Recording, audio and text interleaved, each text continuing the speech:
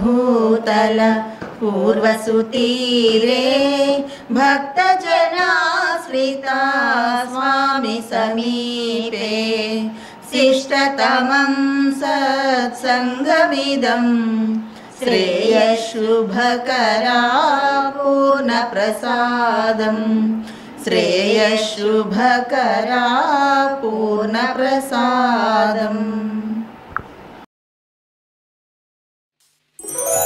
అందరికీ నమస్కారం. మనం ప్రతి శనివారం జరుపుకునే స్వామి భక్తుల సత్సంగానికి శుభాహ్వానం పలుకుతూ రాజపద్మాపురం నుంచి స్వామివారి గొప్ప అనుగ్రహ ఆశీస్సులతో మనకు లభించిన మరో ఆణిముత్యమే డాక్టర్ జక్కంపూడి మునిరత్నం గారు.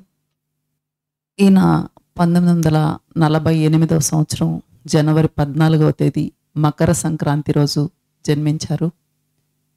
పుట్టుకతోనే చూపు లేదు. ఎన్ని వైద్యాలు చేయించినా చూపు రాదని తెలిసి వీరి తండ్రి మునుస్వామి నాయుడు గారు ఆ ఊరు బ్రాంచ్ పోస్ట్ మాస్టర్గా ఉంటూ పాల వ్యాపారం చేసేవారు. ఆ విధంగా రాజపద్మాపురంలో చిన్నగోవింద స్వామి నాయుడు శ్రీనివాసుల నాయుడు వీళ్ళందరూ కలిసి స్నేహంగా ఉండటంతో స్వామి రాజపద్మాపురంకి వచ్చినప్పుడు ఈ బిడ్డని స్వామికి చూపించి ఏదైనా మేలు జరుగుతుందేమో అని ఆయన అనుగ్రహానికై వీళ్ళు వెళ్ళటం జరిగింది. చిన్నగోవింద స్వామి నాయుడింట్లోనే స్వామి ఉన్నన్ని రోజులు మున్రత్నం గారు ఉండి స్వామితో ప్రతిరోజు గడపటం ఎంతో ఆత్మీయతను అనుభవించడం జరిగింది. స్వామివారి ఆశీర్వాద ఫలమే తన జీవితం అని ఎంతో వినయంగా మన సత్సంగంలో మునిరత్నం గారు మనతో పంచుకున్నారు. పరుడై ఈశ్వరుడై మహామహిముడై ప్రాదుర్భవస్థాన సంహరణ క్రీడనుడై త్రిశక్తియుతుడై అంతర్గత జ్యోతియై. పరమేటి ప్రముఖామరాధిపులకున్ ప్రాపింపరాకుండు దుస్తర మార్గంబున తేజరిల్లు హరికి తత్వార్థినై మృగ్యద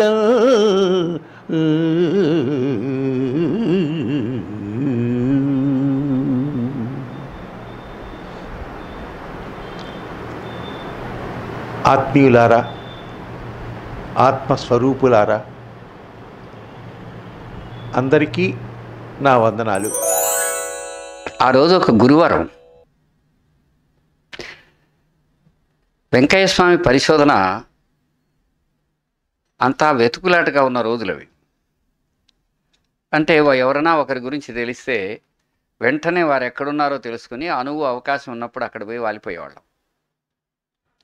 అట్లా ఒక ఆయన గురించి తెలిసింది. అక్కడ విశేషం ఏంటంటే స్వామి రాజపద్మాపురంలో ఉన్నాడు. రాజపద్మాపురంలో ఉన్నప్పుడు ఆ చుట్టుపక్కల పల్లెల వాళ్ళందరూ ఒక్కొక్కరు ఒక్కొక్కరికి బాగా తెలిసిన వాళ్ళు. ఈ రాజపద్మాపురానికి ఆరు కిలోమీటర్ల దూరంలో కావేటి రాజపురం అని ఒక ఊరుంది. ఆ ఊర్లో ఒక మునుస్వామి అనే ఆయన ఆయన వ్యవసాయం చేస్తాడు. బ్రాంచ్ పోస్ట్ మాస్టర్గా ఉంటాడు తర్వాత పాల వ్యాపారం చేస్తాడు ఎల్ఐసి చేస్తాడు ఇన్ని చేస్తాడనమాట అప్పుడు ఆ పల్లెలన్నిటిలో పాలను కలెక్ట్ చేసి మద్రాస్ మహానగరానికి పంపించడం ఒక ఆదాయ వనరుగా ఉండేది. అది యాభైల నాటి సంగతి పంతొమ్మిది వందల యాభైల నాటి సంగతి. అవన్నీ చేసేవాడు ఆయన.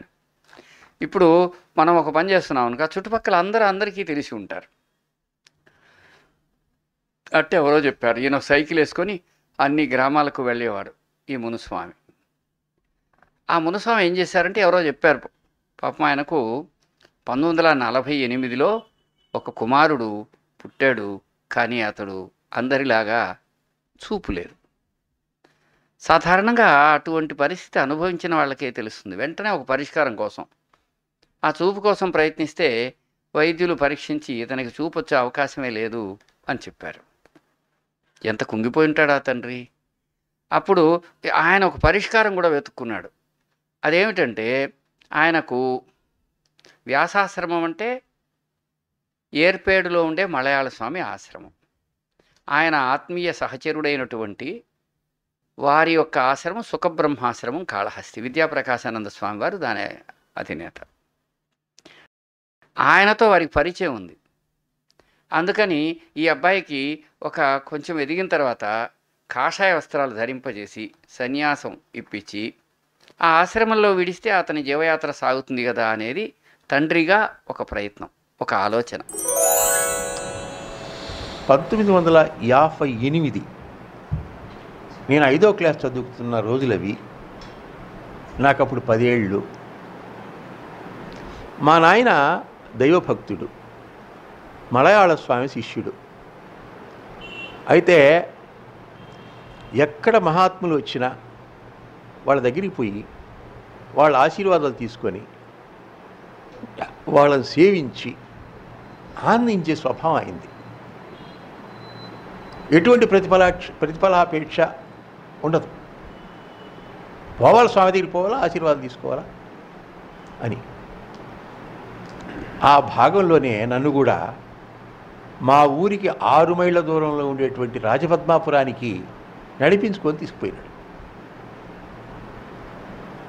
అక్కడ స్వామికి నన్ను చూపించినాడు. ఇప్పుడు మనందరం ఏమనుకుంటాము మనకి తండ్రి మన తల్లి మనవాళ్ళు మనకి ఇచ్చిన వాళ్ళు అనుకుంటాం. పరాత్పరుడైన పరమాత్మ అని అనుకోం. అయితే ఆ తండ్రి అనుగ్రహం ఎలా ఉంటుందో ఈ అబ్బాయి వెంకయ్య స్వామి యొక్క కృపాపాత్రమై దాని ద్వారా సముజ్వలమైన జీవితం గడుపుతూ కళ్ళంటే కేవలం భౌతికమైన నేత్రాలు కాదు జ్ఞాననేత్రము. అది కలిగిన వాడు ఎంత అద్భుతంగా జీవించగలడో అది ముందుగా చెప్పిన ఘనతర మూర్తి స్ఫూర్తి వెంకయ్యస్వామివారు. అగ్ని ఎదుట కూర్చున్న ఆ అవధూత స్వామి దూరం నుంచి వస్తున్న ఆ చిన్న కుర్రవాడు తండ్రితో వస్తున్నాడు నడిచి వచ్చారు. వస్తుండగానే చూస్తే ఏమయ్యా? ఇతడికి ఎర్రగుడ్డలు కట్టబెట్టాలనుకుంటున్నావా? లేదయ్యా ఆయన ఎంతో గొప్పవాడు. ఆయన ఎంతో వృద్ధిలోకి వస్తాడు అని ఆశీర్వదించి వెంటనే ప్రశ్నించిన వాళ్ళ నాన్నకు ఒక జవాబు చెప్పి ఓదార్పు చెప్పి ఆ ఆదరించాడు. ఆయన ఏమనుకున్నట్టు ఎవరెవరి ఈయన కళ్ళు రావాలని నన్ను తొడకిచ్చినట్టున్నాడని చెప్పి ఆయన నా కళ్ళను తాకినాడు. గుడ్డతో మంత్రించినాడు. మళ్ళీ నీళ్ళు చల్లాడు. మరి దీంట్లో నాకు రెండు అంశాలు కనిపించినాయి. కళ్ళు రావనే సంగతి ఆయనకు తెలుసు. తెలిసి ఉంటుంది కూడా. అయితే ఎందుకు ఆయన ఆ విధంగా చేయాలంటే వచ్చిన వాళ్ళని అసంతృప్తిగా పంపించకూడదు. కొంత ప్రయత్నం చేసినట్టు ఉండాలా? ఆ ఉద్దేశంతోనే ఆయన చేసి ఉంటాడు. అప్పటికి వెంకయ్య స్వామి చూడటానికి పోయేప్పటికీ ఆయనకి ఐదో తరగతి అంటే పది సంవత్సరాలు. తొమ్మిది పదేళ్ళు మధ్యలో ఉందన్నమాట. సరే స్వామి ఆత్మీయంగా దగ్గరికి పిలిచారట. వాళ్ళ నాన్నతో ఏం మాట్లాడారో కానీ ఆయనకు మాత్రం ఆయనకేమీ లేయ్యా అని ఆయన రెండు కళ్ళు తాకి ఆశీర్వదించారు. ఇది చాలా అరుదైన ఆశీర్వాదం. ఆ తర్వాత ఆయన మహాపండితుడు అవుతాడని ఆయన సంసారి అవుతాడని కూడా స్వామి చెప్తే వాళ్ళ నాన్న నమ్మలేక విభ్రాంతుడై వేచి చూచాడు. అదంతా నిజమైంది. తర్వాత ఆయనతో కూడా చలమయ్య తులసమ్మ గారు వాళ్ళు ఉండేవాళ్ళు. ఎప్పుడు? రాజపద్మాపురం అంతా ఆయనకి బంధువులే. వాళ్ళంతా కూడా ఆయన స్వామిగానే భావించి ప్రతి వాళ్ళు వచ్చి సేవించేటువంటి వాళ్ళు. బాగు బాగా అయింది. అయితే సామాన్య మానవులకి ఆధ్యాత్మిక చింత ఉండ చింతన ఉండదు. దైవాన్ని పొందాలనే తపన ఉండదు. అందువల్ల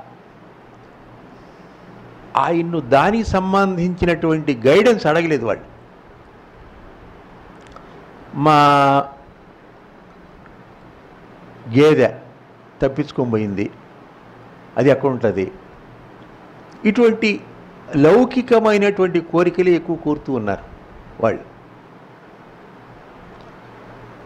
బాబా గారు ఏమన్నారంటే వచ్చే వాళ్ళంతా నా దగ్గరికి లౌకికమైన కోరికలతోనే వస్తారు. వాటిని నెరవేరుస్తూ వాళ్ళని నేను దగ్గరికి తీసుకుంటాను. క్రమంగా వాళ్ళని ఆధ్యాత్మిక పథంలో ప్రవేశపెడతాను అని చెప్పినాడు. ఆయన. ఈయన ఆ విధంగా చెప్పకపోయినా ఆ విధంగానే చేసినాడు. నాకు కరెక్ట్గా గుర్తులేదు చిన్న వయసు కాబట్టి. నాకు మళ్ళీ మా నాయన చెప్పింది ఏంటంటే నువ్వు ఎర్రగుడ్లు కట్టి కూర్చోబెట్టాలనుకుంటున్నావు కానీ అది కాదులే అంతా ఉండలా అని అంట. కాబట్టి మా నాయనేమో నన్ను ఈ సన్యాస మార్గంలో దైవ మార్గంలో నడిపించాలని అప్పుడు అనుకున్నట్టున్నది మళ్ళీ దాన్ని ఆయన మార్చుకొని మళ్ళీ పెళ్ళి చేయడము ఇన్ని రావడం ఇది జరిగింది. తర్వాత వేరే వాళ్ళు చెప్పి నాకు నేను మాత్రం ఇది వినలేదు. మంచి కవి అవుతాడు పండితుడు అవుతాడు పుస్తకాలు రాస్తాడు అని చెప్పినాడంట. అది జరిగింది.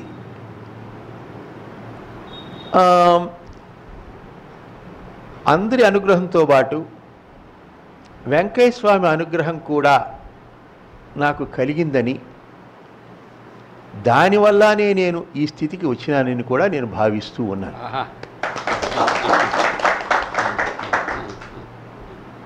కాబట్టి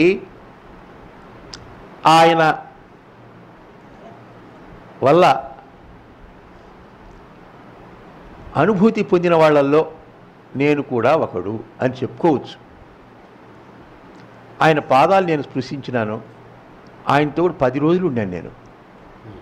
అక్కడ రాజమాత రాజపద్మాపురంలో మా నాయన వదిలేసి వెళ్ళిపోయినాడు ఊరికి. మా గ్రామానికి వెళ్ళిపోయినాడు. మా నాయనకి ఫ్రెండ్స్ అక్కడ చాలామంది ఉన్నారు. దాంట్లో. గోవింద స్వామి నాయుడు ఒక ఆయన. పెద్ద ఆయన. నారాయణ నారాయణ వాళ్ళ ఆయన వాళ్ళ ఇంట్లో నేను ఉన్నాను. వాళ్ళ ఇంట్లో. మళ్ళీ శ్రీనివాస నాయుడుని ఎదురుగా ఒక ఇల్లు. వీళ్ళంతా మా నాయన పాల వ్యాపారం చేసేటప్పుడు వీళ్ళంతా ఫ్రెండ్స్. అందువల్ల అక్కడ వదిలినాడు. అక్కడ వాళ్ళ ఇంట్లో ఉండడము. స్వామి దగ్గరికి పోవడం. నాకు వేరే పని లేదు కదా. ఓ అంతేగా. ఆడపోయి కూర్చోవడము. అది ఎవరో తెస్తే ఆయన ఏమన్నా ఇస్తాడు మళ్ళీ తినేదానికి. అది తినేది. అట్లా గడిచింది. కాబట్టి మంచి అనుభూతి పొందినాను. మన మునిరత్నం చెబుతారు. ఏమనంటే నాకు కళ్ళైతే రాలేదు కానీ వస్తాయని వెంకయ్య స్వామి వారు చెప్పలేదు. నా జీవితం ఆయన ఆశీర్వాదమని నేను గుర్తించినాను. మా నాన్న నన్ను అక్కడే ఇక్కడ రాజపద్మాపురంలో మన ఊరు కండ్రీలో. వెంకయ్య స్వామి ఎన్నాళ్ళు ఉంటే అన్నాళ్ళు స్వామి దగ్గర ఉండేలాగా ఏర్పాటు చేసి మన పెంచెలనేని చిన్ననారాయణ ఉన్నారు కదా వాళ్ళ నాన్న పేరు గోవిందస్వామి. ఆ గోవిందస్వామి ఈయనకు స్నేహితుడు. ఎందుకని? ఈ మన ఊరు కండ్రిగలో అంటే ఈ రాజపద్మాపురం అనే ఊరిలో ఆయన పాల వ్యాపారం కూడా చేస్తాడు. ఎవడు? గోవిందస్వామి. వీళ్ళిద్దరికీ బాగా స్నేహం. అందుకని వాళ్ళ ఇంటి దగ్గర వదిలి వెళ్ళిన వర్తమానాన్ని నారాయణ కూడా గుర్తు చేసుకున్నారు. అక్కడే ఒక పది రోజుల పాటు వాళ్ళ ఇంట్లో ఉన్నారు. వాళ్ళ ఎదురింట్లో ఉండే శ్రీనివాసన్ నాయుడు వాళ్ళు కూడా వీళ్ళకు ఆత్మీయమైన వాళ్ళే.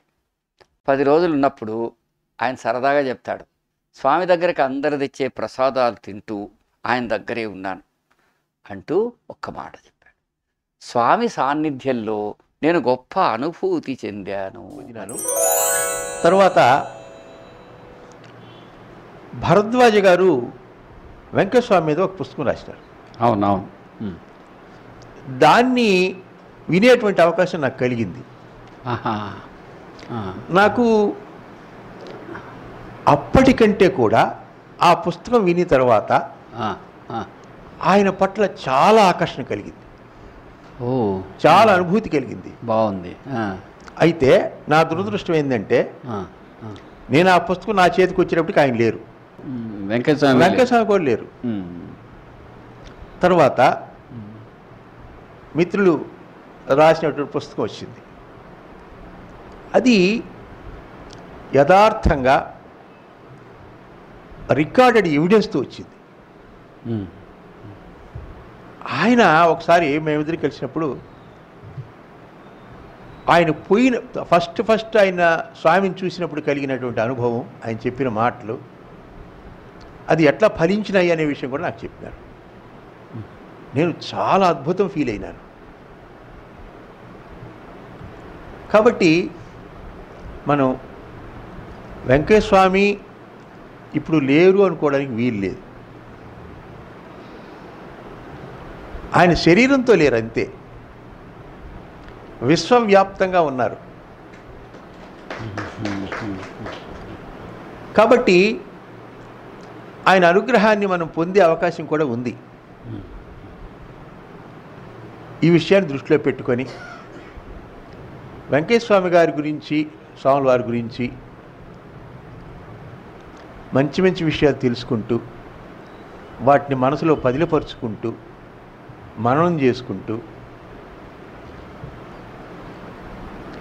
ఆ ఆనందానుభూతి పొందుతూ ఆయన అనుగ్రహానికి పాత్రలు కావాలని చెప్పి మిమ్మల్ని అందరినీ కూడా అభ్యర్థిస్తున్నాను. స్వామి సాన్నిధ్యపు అనుభూతి మనకు ఒక బద్ధజీవిని ముముక్షువును చేసినట్టు మూకం కరోతి వాచాలం పంగున్ లంఘయతే గిరిం. అని ఎట్లా ప్రాచీన ఋషిధర్మంలో చెబుతారో అట్లా మహాద్భుతంగా స్వామివారు ఆయన్ని అనుగ్రహించారు. ఆ అనుగ్రహం ఎంత గొప్పదంటే చాలా అరుదైన మూర్తి స్ఫూర్తి ముందత్తం గారు.